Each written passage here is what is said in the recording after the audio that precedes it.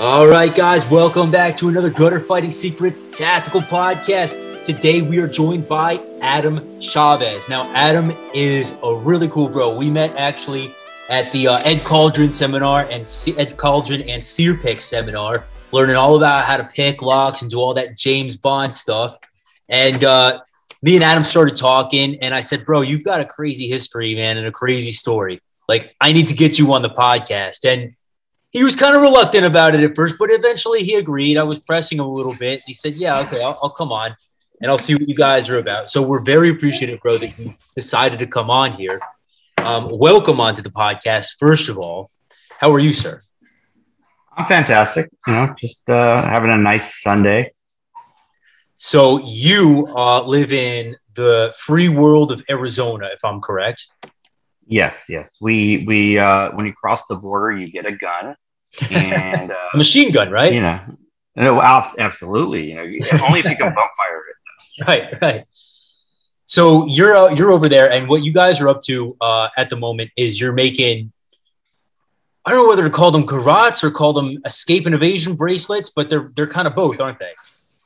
Well, it's all dependent on how you use it. I mean, if it's strong enough to hold up to 300 pounds, but if it's strong enough to cut through things, it just depends on what your your intent is. Yeah, yeah, and I, I, like how you're doing that, man. And so, what's really cool about these things is um, I'm pulling up a, pictures of them here on Instagram to show you guys. But Adam, bro, do you do you have one you could show the the audience at home? Yes, absolutely. Okay, so this is one of them. The way it looks is just a standard bracelet wraps around secures via magnet. I, I, add in roughly about a quarter of an inch to an eighth of an inch at most. I mean, a little to, to most uh, slack to allow there's movement without having gaps in the beads.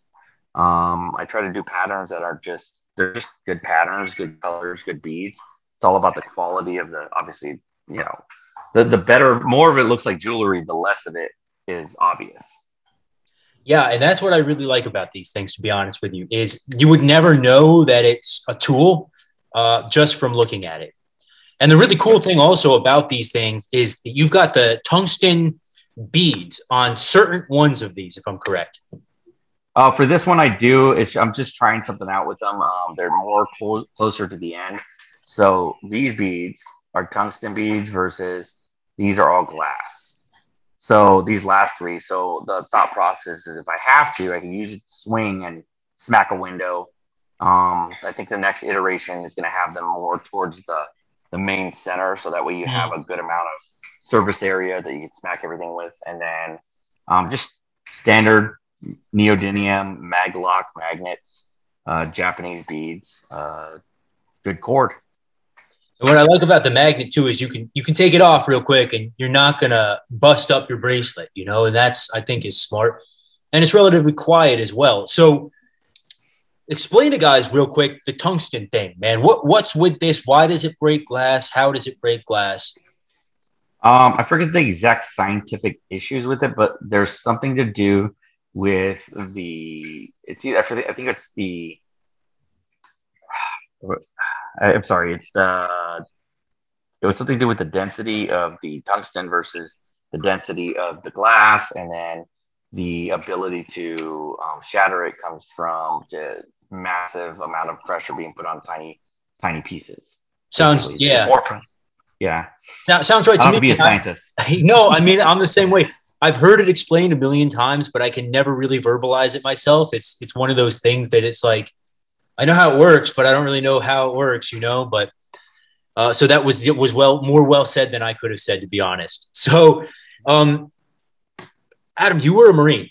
You you went through some interesting stuff in the Marine Corps, man, and I, will let you kind of get into that. But uh, you didn't start out as a Marine infantry guy. You were saying that you actually they put you as a radio man and at first, and then and then things started taking even more interesting turns. So so what happened with that, man? Um, so uh, yeah, I, I, I, got into boot camp. I was very early. It was like 2010 when I, uh, 2004 when I joined, and it was December. Uh, so Christmas, first Christmas, obviously, uh, was straight there in boot camp. Um, got to boot camp. I went in open contract. Uh, so uh, for those guys who don't know, open contract just means that they choose the job for you based on the needs and your scores. So you could have a really smart guy, you know, as a cook. Mm. You could also have a really dumb guy uh, in admin. Sometimes it's weird. Um, so I get to my unit. I know. So I go. So I go to, out of boot camp to go to what's called MCT, which is Marine Combat Training. It's basically like a couple weeks of like very summarized uh, combat stuff because you, since you don't have a non a, a non technically what's called a pogue, um, you're not you're not a grunt, so you don't need all the intensive training with the, all the massive weapon systems again to give you the basic rifleman stuff that you should learn. Um, but then, so I get done with that. They finally give me my MOS. They say, "Hey, you're a radio guy." So I go to my unit. I go to school, the com school, and they changed it to a wireman. Uh, for the people who don't know, uh, if you've seen Enemy at the Gates, it's that portion when they're crawling through the dirt and they're getting sniped the whole time. So yeah, you got there, did that, um, got to my unit, uh, kind of got voluntold to go with weapons company. So I had to learn how to be a radio guy, even though I wasn't trained to it. Um, very on the fly, uh, very your your your skills are dependent on the lives of the people around you. So, and the grunts don't normally know. Not all of them know radio procedures, but the ones that do know it, you know, they expect you to be better than them, obviously. So then, that's that's a really interesting thing, man. Um, now, when you say you're a radio, were you working on those old like portable transceiver things from Vietnam type deal, uh, carrying one on your pack, or were you? Was it? Is it? I'm assuming it's more advanced these days. No, it was about that. There is a gist of that. So it was a Prick 119s are the general ones, but then they get them vehicle mounted which means that they have boosted signal. They get because we are a weapons platoon. Uh, they required heavy guns, so they have Mark 19s, 240s, um, and 50 cals per the standard. We do the whole business. Um, we're out there, but like I've seen enough videos and movies to kind of figure out like like don't be the guy with the radio antenna on your neck. Plus, they don't really have the same electrical code we do. So there will be guys that'll just string new power lines over old power lines. So you, it's very unsafe, obviously, right? And it's not regulated in the same concept. So, and I did, lose, we did lose one of our Marines who, uh, his antenna smacked the the wire and basically it fried him. Uh, yeah, so there's that shit does happen. But um, so what I did instead was I took a, a smaller radio. It's a, a basically a, a, would, would be considered black gear and we basically I basically boosted the signal off the truck and used it on my leg and a leg pouch. Huh. Huh. I mean, that's that's most valuable stuff to know, man. Everyone wants to know, you know, small unit tactics and run around with guns and stuff and do Rambo, but nobody ever bothers to learn how to operate, you know, even a, a simple ham radio, right? Program freaks into it and all that. So you knowing that stuff is um pretty pretty valuable, dude. So you you went through that. Um, you got assigned to the weapons company. You actually went over to Fallujah. Twice, yes. Twice. First, okay. first time was uh, first time wasn't with weapons. They put me on guard duty, so you're basically watching over the camp. And then we did QRF, so we were like quick reaction force in case, God forbid, something happened, um, which a couple times it did. Um, and then when I went second time, that's when I went with weapons company and got a lot of information. Uh, a lot of weird, weird things happened that deployment. Um, but yeah, it, it's uh, you, you, get these skills, you start learning these things, and uh, you build that camaraderie when you know you eat, sleep, and shit in the same holes. Yeah, yeah, and um, man, you you were telling me some stories, and I don't want to I don't want to bring up old memories, but you, you saw some combat, didn't you? Some close combat. Yes. Yeah, yeah. In Fallujah, there was there was quite, quite a few times there was some weird shit going on. Um, uh, one time, a uh, the we, we were QRF, um, the ECP, uh, basically a 500 pound shape charge that was inside of a dump truck, took out an entire clover leaf. Damn. Luckily, and sadly, only one Marine died. Every like he literally parked his truck in such a way that it up armored the up armored uh, seven ton took like 90% of the blast and it threw him um, like several hundred feet. Wow. Wow. We were talking about one of Ed's courses where you um, learn how to learn how to use a knife and, and you basically kind of related to me that you might have you might have had to done that over overseas at one point. Yeah, that that happens. Um, Yeah. sometimes shit happens and it's not pretty. Um, but I mean, a knife is a tool. It does one thing. It cuts. Now, depending on what you use it on, that how it, that's what it's going to be cutting. Yeah. So, um, do you think that the training that you received as you know as a as a marine kind of prepared you for combat, or or was was It does.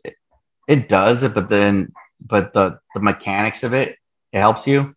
But it doesn't tell you the toll that you're going to have to pay later in reference to whether or not psychologically you'll be able to handle things that you see over there, do over there, or uh, witness in general. yeah that's that's what all the guys I've met like yourself who have really seen some shit kind of say is that you know you you you go through it and you do what you have to do, but it's um there's a price you pay for it, right? Like everything else. So. Absolutely. what would you say to guys out there, younger guys than yourself, maybe even guys who are currently in, um, you know, who who might be struggling a little bit dealing with some shit? I mean, what, is there a light on the other side of the tunnel?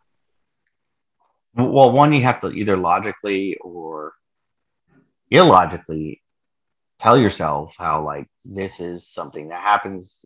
It's not something you choose.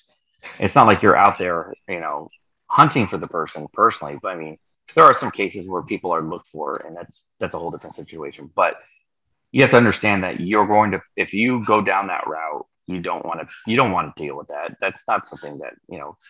I know guys who have night terrors. I know guys who, you know, they uh, they don't ever get sleep in general.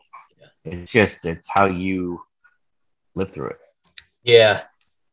Yeah, I've known a few guys like that myself, man. It's it's got to be really tough. But, you know, it you guys do it and the rest of us are very grateful that that we didn't have to do it and that you guys did it, you know, for us, so to speak. But I mean, now you you seem man, like honestly, I would never have known that that you were this ex-marine guy. But you're you're just so different Well- than most Marines, dude. Yeah, well, Marines are ever exes. It's a weird situation. Marines if, you- if you're like, well, Marines are never ex-Marines. Even Right. if they were a shitty Marine, they were still a Marine. So, like, case in point, uh, Full Metal Jacket pulls it up in, in the best way to explain it. Um, the Lee Harvey Oswald, when he shot Kennedy, they said Marine Lee Harvey Oswald. Hmm. Whenever something, whenever we're in the the, in the headlines, they always state Marine. That person was a Marine. They, they don't when they do soldiers or Navy or Air Force or they say ex military, ex Marine, ex Army, ex Navy, ex. It's it's a weird thing. We don't we don't ever stop being Marines. Well, you guys are the. I mean, you guys are the best warriors I've ever I've ever met, man. And I, I've met a lot of guys, but the, the finest warriors I've ever trained with have all been Marines, dude. I mean, the the whatever, however they make you guys, they're making you guys the right way. So, you're also a knife reviewer, man. You you build knives, um, and you review knives. So tell tell us a little bit about that part of your your business here. I it's well not really a business, more of a hobby for that aspect. I just like I well, I love knives. Number one in general, it's just a you can't open a potato chip bag with a Glock. It doesn't look right.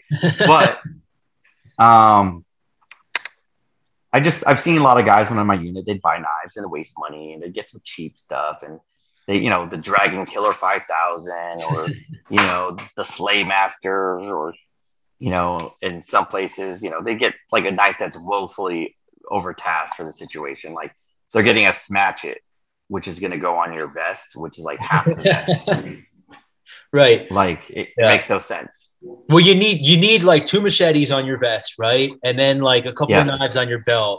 Otherwise, you're just an amateur. So if I don't look like Danny Trejo from fucking Desperado, I'm doing it wrong. exactly, yeah.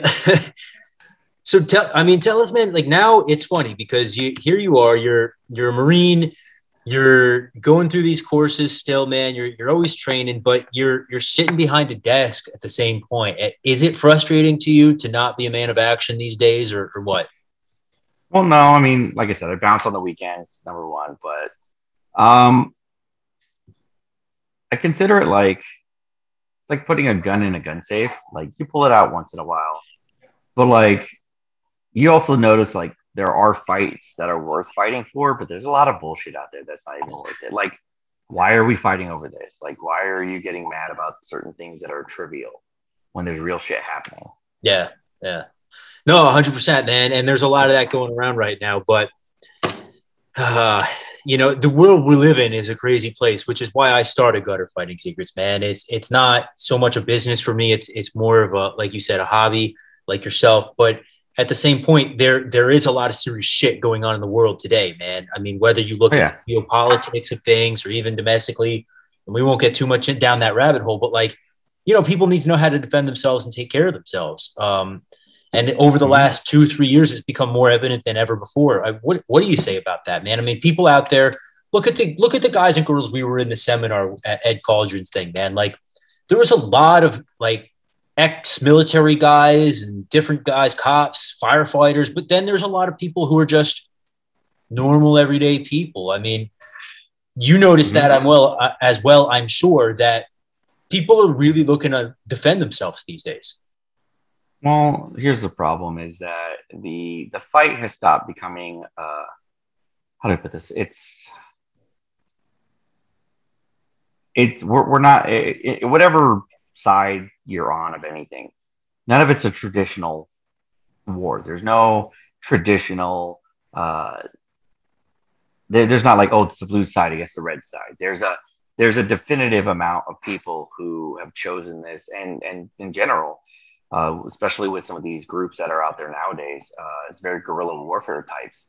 But the concept is basically blending in, being in plain sight, being, you know, as Ed says, the zebra among zebras.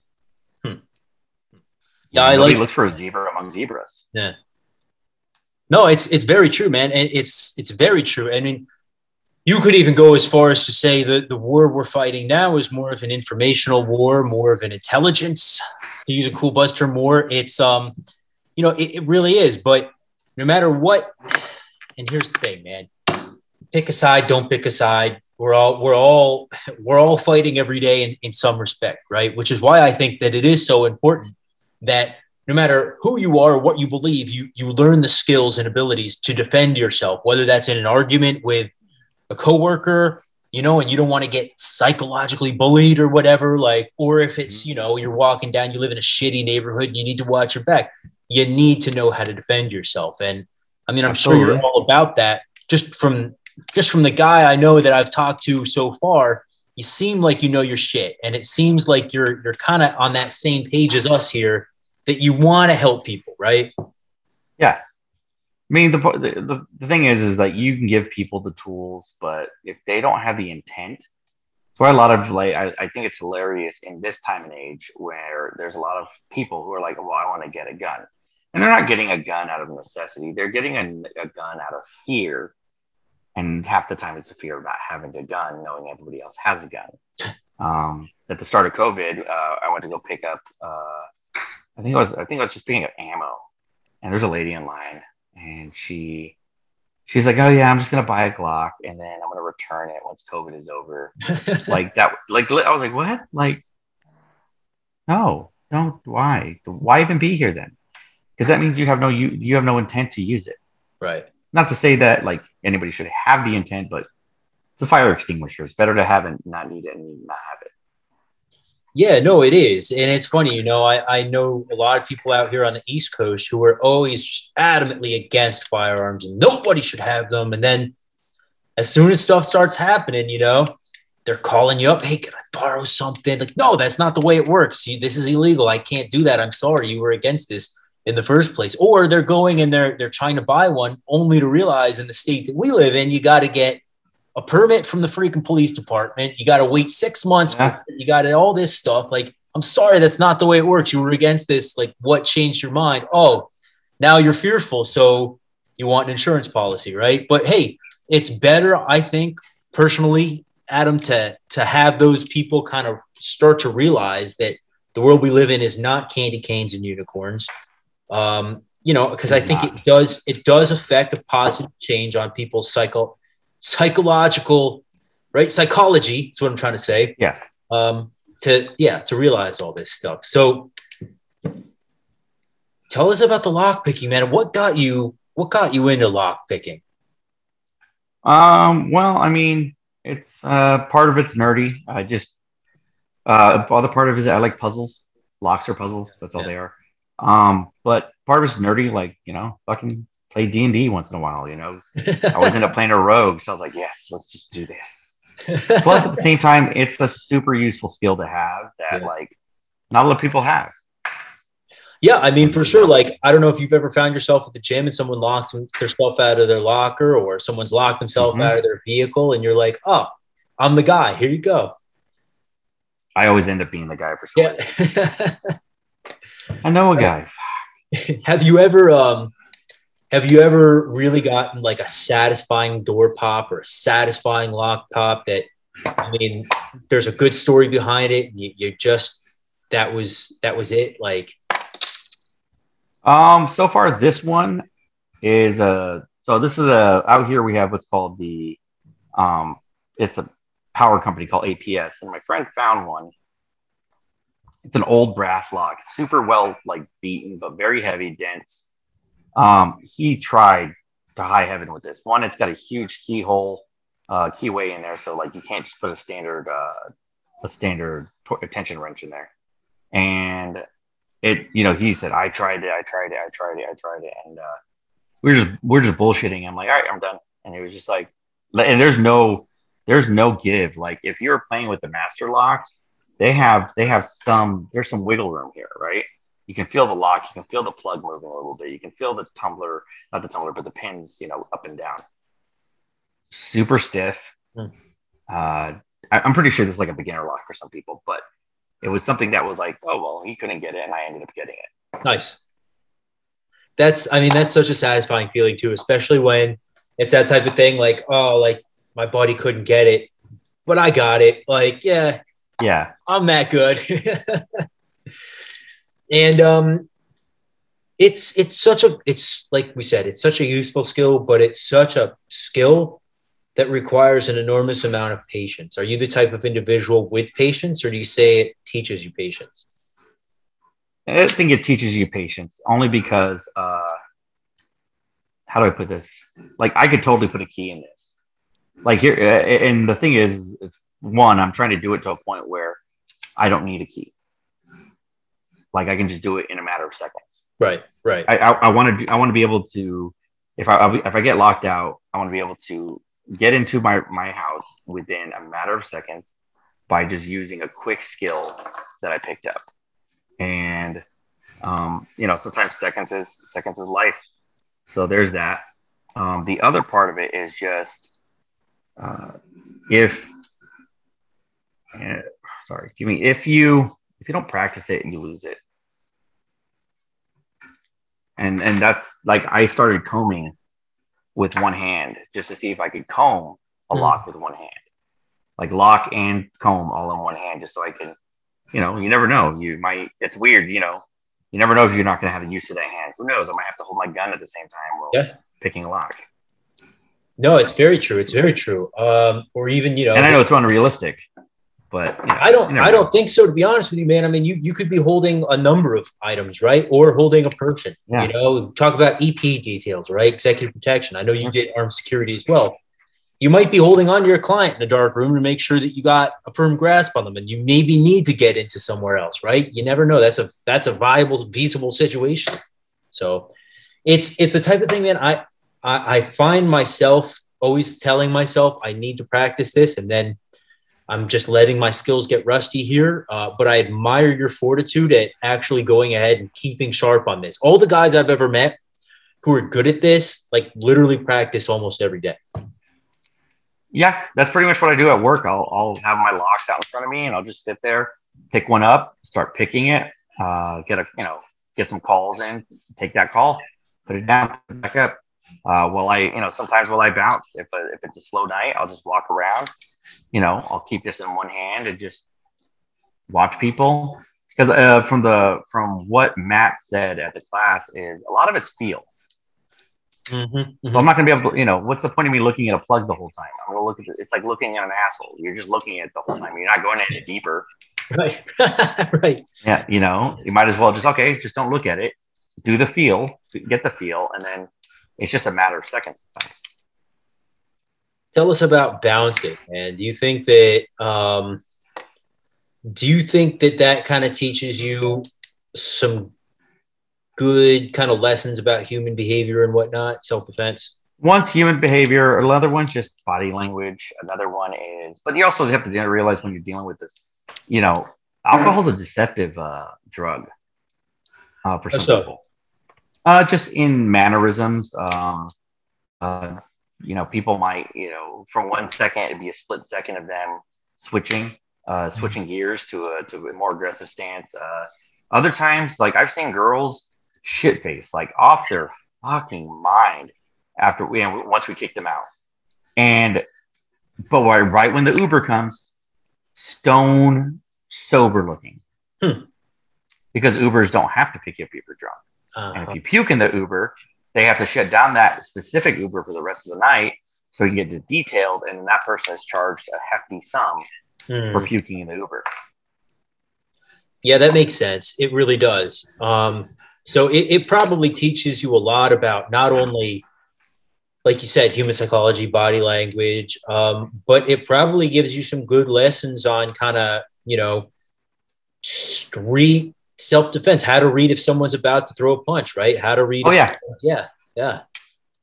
Tell, Oh, yeah. tell us a little bit about about you know I mean I'm sure you've seen it before right what are some tells what are some pre-fight indicators to use a fancy word that you've seen used uh, that, Well, a that- lot of guys are drunks, Yeah. so they they kind of telegraph a lot when they're drunk, and most guys that are inexperienced in drinking and fighting at the same time, uh, they they usually telegraph, and you'll you'll see their stance square up. You'll see them, you know, fists at their side. You'll notice the demeanor on their face uh, because they're drunk. They have their blood flow is going to be a little differently, so it's going to be harder harder to hide certain emotions in their face um, you'll see obviously and then at the same time it gives you time to uh, maneuver with other people that are in security to get around the person to get it taken care of in a pretty much de-escalated manner. Uh, usually the rule of thumb i give people is i give them a ask tell make. First i ask you i give you that chance to walk out on your own have that dignity and then i tell you. And if that doesn't work it's quickly to make. And if it's gotten to make, I've given you more than enough chances to leave. what kind of what kind of I mean are you guys doing like specific holds that they teach you or is it just kind of drag them by the neck and get them out Well, unfortunately, no, you can't just drive right in the neck. Uh, there's too many people that get uh, lawsuits on that basis and put the liability in. Generally, the rule of thumb is obviously do, uh, you know, as little force as necessary. Um, basically, an escalation of force, right? You never, never, ex- never go two steps above them. Always try to stay like above, uh, like escalate to where they're at, and then once they back down, then you back down to where they're at, kind of just incrementally But generally uh, it's usually tag teams. We're usually you know grabbing arms. We're usually you know just underhooking the arm walking them out um, if they're being really uh, questionable. Um, sometimes it's just all right you know we'll get you outside. And usually they're you know hey man let me talk to you real quick. What? I gotta tell you the music's really loud so let me talk to you outside. So walk them outside. All right so now you're outside the club. I'll let you know. I can't let you back in. Blah blah blah. This is why and you know i'm five foot five so i have no i am not threatening whatsoever. Yeah except to guys like me I've seen it too many freaking times bro. You you you smaller guys I don't want to mess with y'all because you're tough well and the well and the whole time i just talk with a smile. I don't i have no malice no anger. I'm just trying hey let's do this.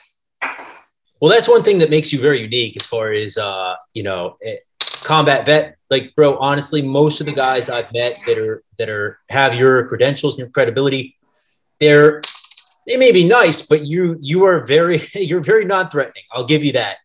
Very deceptive. well everybody's just, uh, you know it's like the mike tyson quote you know everybody has a plan to get popped in the mouth Yeah, ain't that the truth? unfortunately i'm five five so everybody tries to fight me so i'm used to getting popped in the mouth Yeah, that's that's it, man. That's guys like you are always always getting into scraps, and so I try to steer the other way whenever I can. It's uh, it's just a, a old older guy's wisdom, you know. I don't think we're probably around the same age. So, um, you also worked armed security.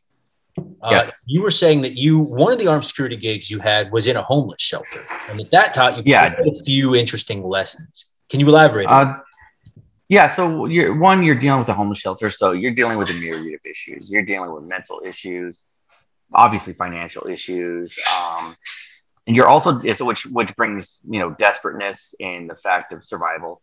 Uh, you know, it's that it's that classic. You know, you never want to be around a, a drowning person because they'll pull you under. So in that aspect, uh, you know, you get that desperation, and they'll take you down with them just to get, you know, just to get ahead a little bit. Which is nothing wrong. It's survival. It's their instincts kicking in.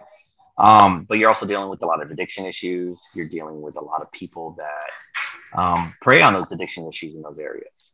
You're also dealing with a lot of human trafficking in its own sense. You know, you know, old hookers that you know that's their only their only means of income is is laying down and you know taking the business. Yeah. Yeah.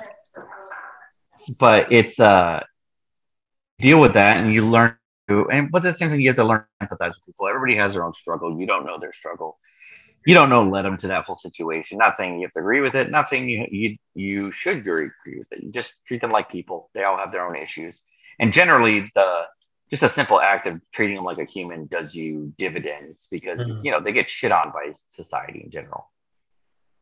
Yeah, yeah, and it, it's too bad, man. You know, um, you know, I mean, yeah, it, it's the Christian thing to do to try, try to help one another, one another, whenever possible, and treat everyone kind of on the on the same level uh, whenever possible too. So, so armed security, bouncer, um, marine.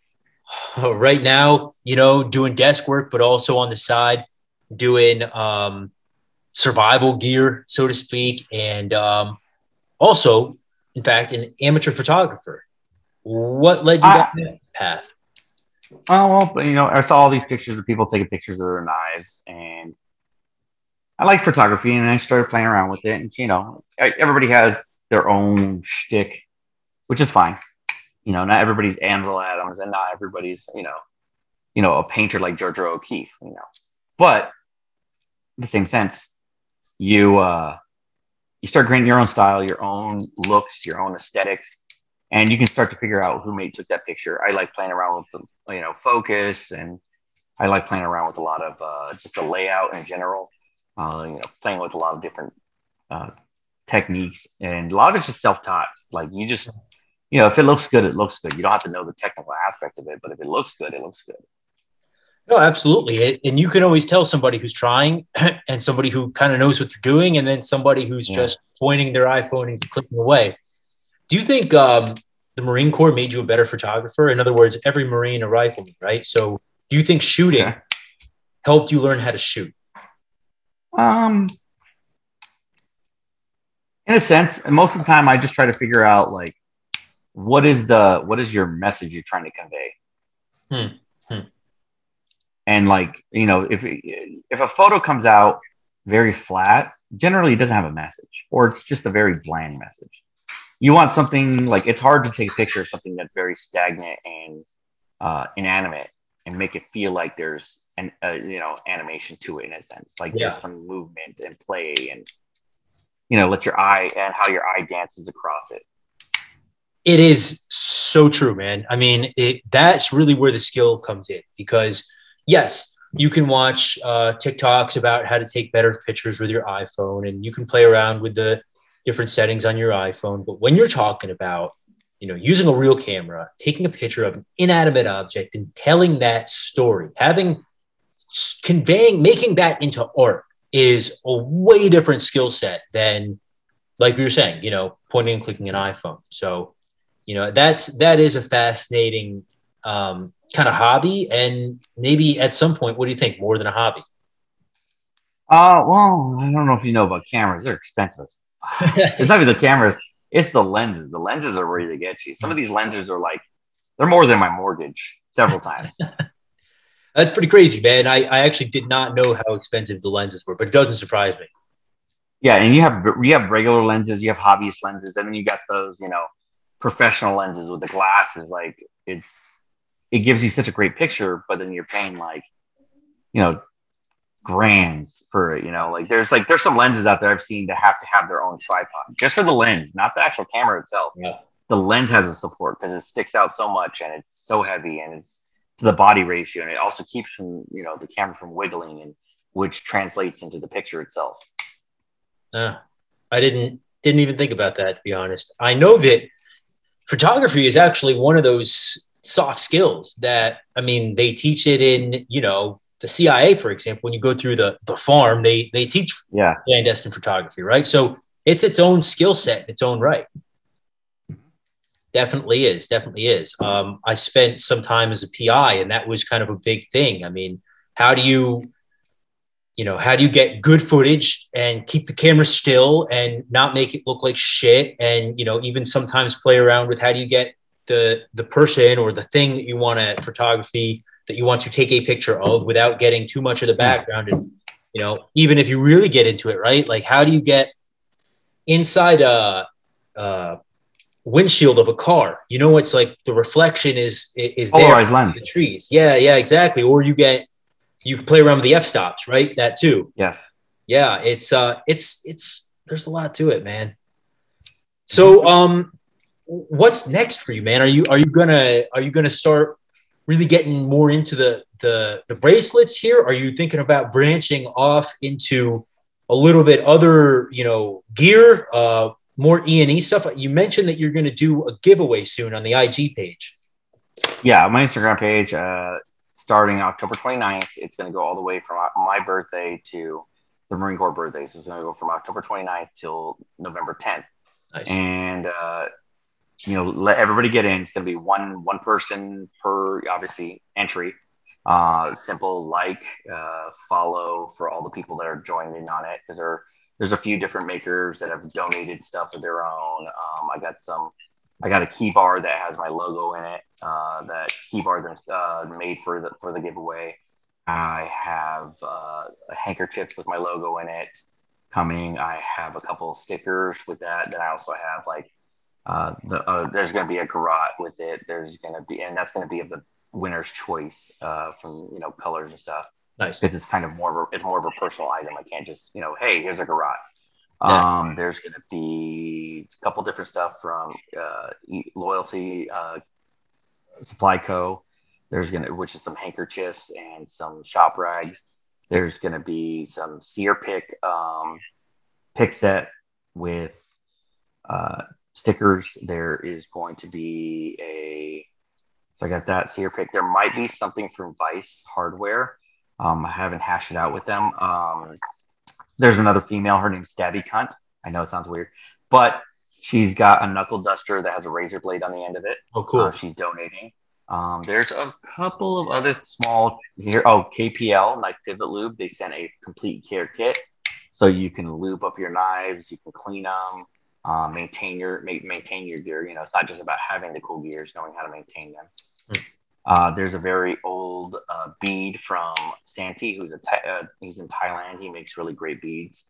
Um, so those are usually rare and hard to find, or they take a while. Uh, there is what else we got going on? I think there's like one or two more things. Oh, I might be getting a knife from a different maker as well. nice Um, yet to be announced. I have to get it. I, I don't really put it out until I get the actual uh, product in my hand. Not to say that the makers aren't going to do it, but you know, shit happens. There's also probably going to be some stuff from Gutter Fighting Secrets. Um, There's that too. There's that too. So, yeah, awesome, man. Uh, listen, guys, at Flippin' Bean, okay? At Flippin' Bean on Instagram, F L I P I N B E A N. Okay, link's going to be right down below here. Uh, follow, all right? Like, subscribe, share, all that stuff. What is it? What is the rules of the giveaway again? Basically, it's going to be like and follow. So you have to like the the post itself, the initial post, and follow everybody that's in the giveaway themselves. Um, Yeah. If anything, it's gonna it's gonna put people on gear they didn't know that was out there. Um, there is going to be a caveat if you want extra entries, you can. Uh, all you would need to do is you would donate to either uh, the Raider Project, which is a Marine Special Operations. Uh, uh it helps out with the families of fallen uh, Raiders, which are the uh, you know MARSOC guys, and then or you can do, and that's any denomination that you do yourself. All I have to see is somehow you have to show me proof that you made the donation, and that can be done via screenshot. You don't have to show me the financials. I just have to be able to see what was you know taken care of. Or you could also donate to um, our Santa Muerte, which is a local Santa Muerte temple that is just uh, you know they're they're offering to the community help. They're just trying to you know keep their you know keep the doors open. Nice, very nice. I like what you're doing there, man. It's um it's it's good shit. It really is. So I forgot to mention, guys, he um Adam not only does he do uh, these bracelets in one color, you guys saw the purple bracelet, right? With the um, tungsten beads. You do bracelets in almost every conceivable variety of colors. And if a guy or girl out there wants a specific custom thing, you'll do that as well, right? Yep, I've done Skeletor. I've done a Mega Man themed one. I've done a Boba Fett and Mandalorian themed. Um, I've also done Let's see what else was there. I did one I call it the Purple Rain. It reminds me of Prince. Nice. Uh, a lot of purple, a lot of gold. Um, what else was there? I've done a for one guy. I did a uh, Black Panther. I've also done a different version of the Skeletor, which has been apparently nicknamed the Cotton Candy. So it's got a lot of teals, a lot of different, like uh, think Lisa Frank. I know that's going to age us, but in that aspect of those colors. Um, but yeah, I mean, I just if you have a pattern or a color you prefer, the only caveat I have on that is if I know another maker makes that pattern, I don't do it. Go okay. to that maker. Yeah, that's fair. Yeah. So, and there have been people who have asked me for certain makers, and I just said, "Hey, go to him, go to her." Yeah, no, that's very fair, and I admire that. I mean, it takes that takes uh, accountability for sure. I think be fascinating, man. So I'm a fireman, and we do a lot of vehicle extrication drills. Um, and we are able to get our hands on vehicles a lot. So I'd love to grab one of these from you one day, take the tungsten beads and take it to a window and film it, and, you know, okay. see what damage we could cause. And, uh, you know, if that's ever something that would interest you or that you'd be down for, just let me know. I'd love to get it done. So yeah, we can definitely do that. Cool. Right, man, Adam, I, I really appreciate you coming on here, bro. It's been a fucking pleasure. And um, absolutely. Yeah, no, definitely good to talk. Definitely good to, to get to know you guys out there and um, keep it free, bro. I will. Thank you. You have a great night. Yeah, no, you too. And uh, we'll be in touch. Guys, until next time, please remember that you are your first and last line of defense, and I will see you in the next Tactical Podcast.